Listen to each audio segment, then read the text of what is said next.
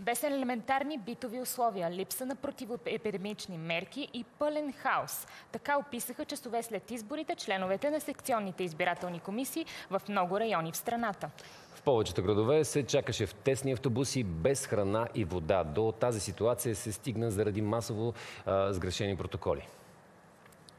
Членовете на секционните избирателни комисии в Стара Загора трябваше да изчакат реда си на открито. За някои от тях това бяха часове наред без яснота, кога ще успеят да предадат документите си. Спазването на противоепидемичните мерки в един момент се оказа невъзможно. Те стоят прави, стоят по земята, по тротуарите, с някакви столчета. Възмутена съм от това, което виждам при COVID-пандемията. Отврат никаква организация. Кошмарна нощ и в Пловдив. Членове на комисии бяха оставени без храна, вода и ток. Петима души колабираха в залата и бяха откарани в болница с линейки. Над 1200 човека бяхме по едно време в тази зала. Хората, повечето, искат а, да им поверят бюлетините. Някои дори искат да ги изсипят тук и да ги запалят, само и само да ни се разреши да, да си тръгнем. Уморени сме, не сме спали, не сме яли, нали, никой не ти осигурява нищо, тук е студено. Напрежение на морската гара в Бургас, натоварени в близо 80 автобуса. Членовете на секционните комисии чакаха с часове, за да предадат протоколите си, оставени без храна и вода и само една химическа туалетна в района. 10 часа сме като животни. Нищо осигурено. Е тук, на въздух. За първ път участвам и съм потресен. Чувствам се даже горд. Така безупречно проведахме а, изборния ден. Агитирахме много хора да гласуват машинно, което беше целта, една от целите на тия избори. А, справихме се блестящо. И на фона на всичко това да дойдем тук и да ни поставят тия условия, Проблеми с дългото чакане и организацията имаше и във Велико Търново. 6 часа стояхме в община Свищов на студено. Даже ни поканиха и на топло да стоим вътре в общината. Стояхме отвън 2-3 часа, тогава влязохме вътре. Една от жените им стана лошо, бърза помощ идва. Много неясноти и грешки в протоколите и в Шумен. Самите секционни комисии не правиха разлика между не подкрепям никого това за гласовете за гласуване за кандидатска листа. На някои места чакането продължи през целия ден. Опашки се извиха пред арена Армеец при предаването на протоколите от изборите. Масово сгрешени протоколи от гласуването в секционните избирателни комисии забави проверката и приемането им в районните избирателни комисии. Как обаче премина целият процес и имаше ли критични случаи в нощта след изборите си ще разберем сега от Крисиян, Красиян Митев, председател на секционна избирателна комисия. Добро утро! Добро утро, благодаря ви Колко, за поканата. спахте само да ви попитам сега, преди да дойдете тук в нашото студио сутринта? Около 6 часа. А колко бяхте в Арена Армеец? Самата зала около 12 часа. Общо? Общо над 30 часа беше работния ден, така да се каже, в изборния ден. Как премина целият изборен ден? Ами мога да го така да го разделя на два-три етапа. Първоначално винаги има напрежение при отварянето на урните. В 7 часа стават едни струпвания, кой е закъснял. поне ние не можахме да отворим на време, тъй като само аз и секретарката на секционната избирателна комисия бяхме. Останалите членове се успаха. Двама дори не знаеха, че са членове. изобщо много екшен имаше в началото. после така имаше няколко часа на по, на спокойствие, на по-лека работа и след това вече аз лично го наричам същинската част при броенето на, на бюлетините след 8 часа. Там вече отново се появява напрежението и понякога взима, дръх, взима връх спорове, неточности при броене. Все пак хората са изморени вече над 12 часа са на крак и когато особено има вод с преференции, винаги е представлявало трудност някъде се изпусне да се види една преференция от някои от членовете, после не излизат сметките и изобщо не беше от най-лесните избори тази година. За първ път ли ви беше сега да бъдете председател на секционна избирателна комисия? Да, председател за първи път, като сега съм бил и член, и заместник председател, и секретар. Общо взето при всичките съм. Имате база за сравнение, имам предвид. По какво се различаваха съществено протоколите този път и всички тези сгрешени протоколи на какво се дължаха според вас? Този път имаше доста отежняване според мен в алгоритмите, които трябва да се направят засечки между невалиден брой бюлетини, извън котия, в котия, не подкрепям никого. Имаше най-различни така събирания, изваждания в тези протоколи, които за мен лично бяха ненужни. Над 20 страници беше протокола. И чернови, белови. Изобщо имаше много документи, които бяха абсолютно ненужни и така и не сме ги ползвали, защото лично за мен са само така да ги има черно на бяло, но на практика никога не са ни потребвали. Споменахте вече за сгрешените протоколи. Имахте ли обучение и колко полезно беше то за вас? Успяха ли да, да се направи добро обучение? В нормална обстановка винаги обученията са предишната събота и неделя, но тъй като сега няма как да събира толкова хора на едно място, ни се проведоха онлайн обучения няколко дни преди изборния ден. Но аз Тези лично... няколко дни бяха ли достатъчни?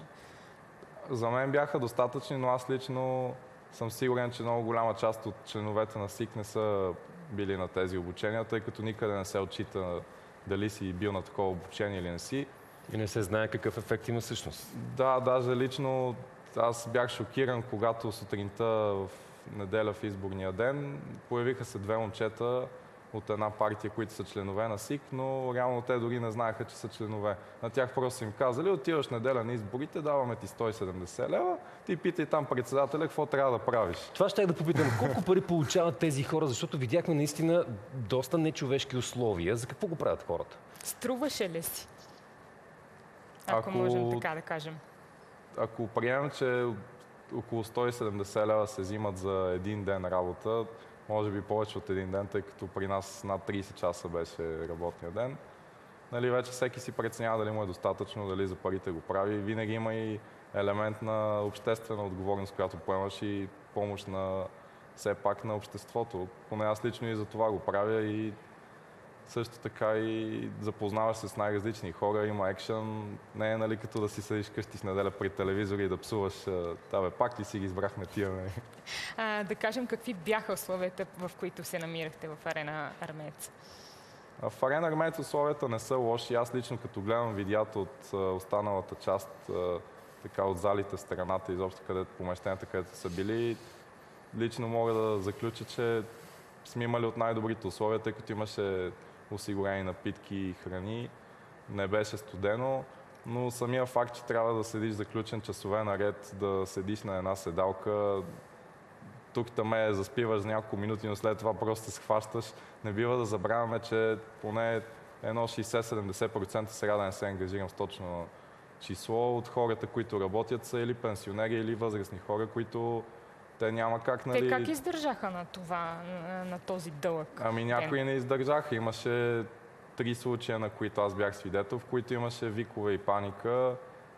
Лекар, помощ, бързо, елате. И аз лично не съм от хората, които си врат носа, нали? Веднага се притекоха а, органи на реда и медицински екип, но лично аз съм на мнение, че не е нормално при такива обстоятелства часове наред възрастни хора да седят. Някои дори гледах по новините, че не са си пили лекарствата. Трябва ли да има възрастова граница според вас? при това положение, с тия наблюдения? Ами за, за носенето на бюлетините аз съм сигурен, че трябва да има възрастова граница, тъй като аз, аз лично винаги съм бил на принципа, че трябва да уважаваме времето на другия, на човека срещу нас. От най-малкото закъснение 10 минути за среща в бита ни до такива часове на които трябва под ключ да караш човек да седи в зала на един стол. Едва ли не и заплахи се чуваха на моменти, никъде няма да ходи. Заплахи? В смисъл? Ами, тъй... Заплахи от кого? На моменти се чуваха възгласи, искаме да си ходим, ще запалим бюлетините.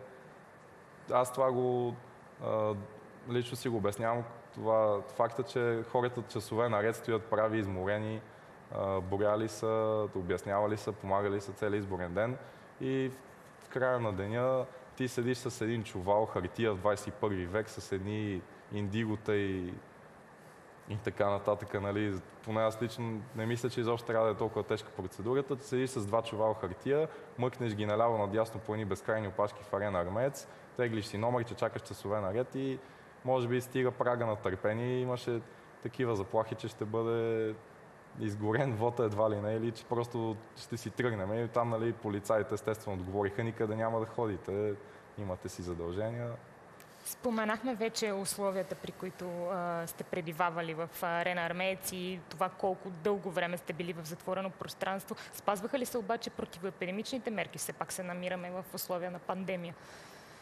Не мога да кажа, че се спазваха напълно, тъй като има си опашка с грешени протоколи, има опашка с а, където трябва да си изтеглиш билечето, си изчакаш реда, едва ли не да, да си предадеш протоколите, после проверки, корекции и до остана едно голямо струпване на хора на Тоест не е могло да се спазва разстояние? Не, абсолютно никакво разстояние нямаше. В момента зад нас има една снимка, която вие сте направили от, вътре от арена Армец. Виждаме почти пикник на елонови турбички, хора наистина, които подремват по, по седалките. Ами долу там е опашката всъщност, която е за... Виждаме на масите се правят корекции.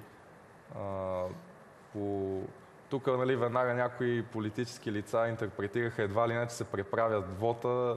Аз бързам да. Пояснете, да, отбележа... да, Майя Манолова в средата на нощта имаше а, изявления. Да, аз бързам да отбележа тук, че не се преправя никакъв вод, просто в чисто техническа гледна точка понякога не излиза формулата на така отежнения протокол, който вече споменах.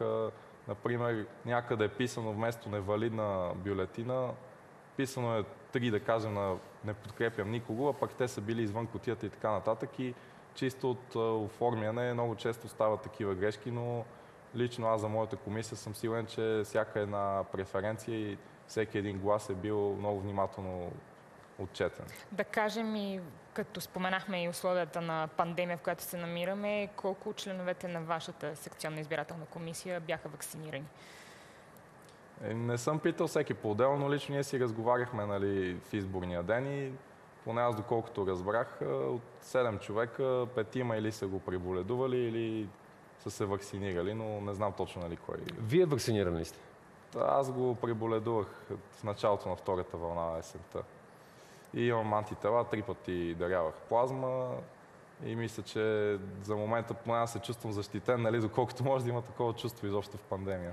Сега след целият този изборен процес, след тези сбъркани протоколи, вие имате ли практично решение и предложение как да се опрости за следващите? Имате ли някаква идея как да се опрости този протокол или какво беше ненужно този път?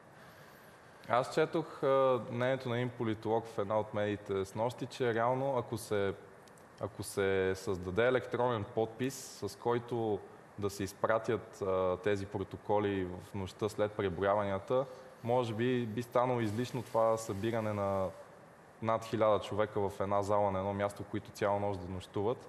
Лично аз мисля, че ако има на районната избирателна комисия, ако има някой представител, който да минава по училищата или да кажем в едно училище да има няколко такива представители и още на място погледнат, нали, ако всичко си е наред с протокола, няма грешки, където трябва нещо да, да поправят и след това се а, предаде по електронен път към централата и се отчете направо бюлетините, направо един човек може да отиде и да ги занесе нали, черно на бяло с този електронен подпис. Вече са стигнали резултатите и избягваме тези всичките тези тежки процедури, които лично за мен са нечовешки в момента, в които години наред, тъй като аз и в Арена Армет съм бил и 40 часа, когато бяхме заключени преди няколко години.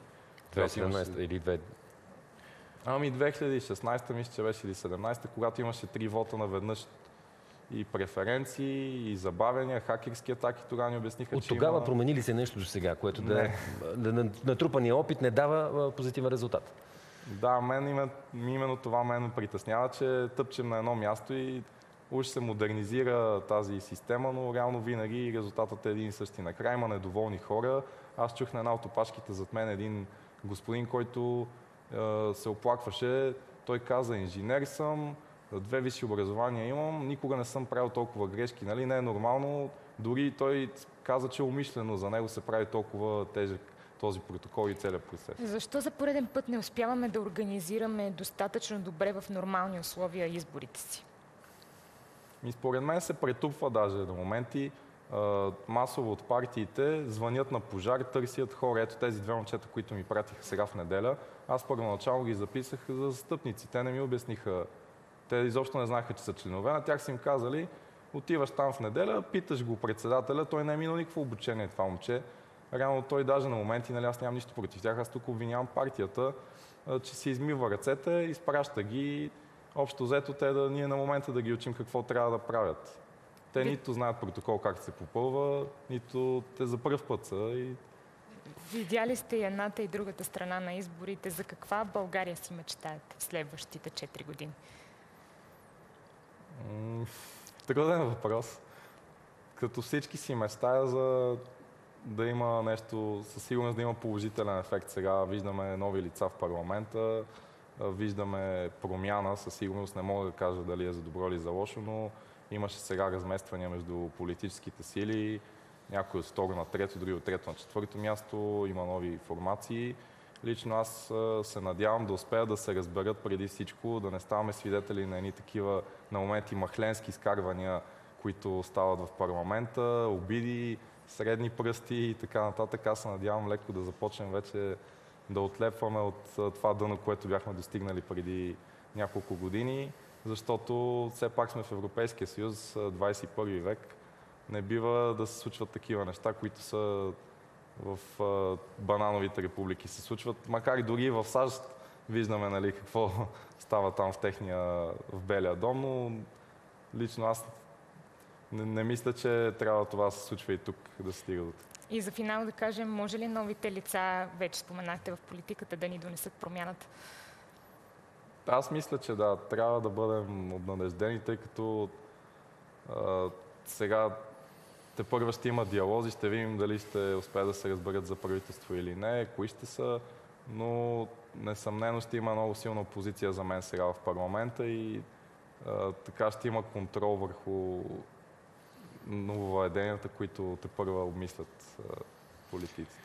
Красиян Митев, председател на секционна избирателна комисия за тази нощ в Арена Армец, но не е само, която наистина разтърси всички и пред екраните, и в местата, където се събираха бюлетини.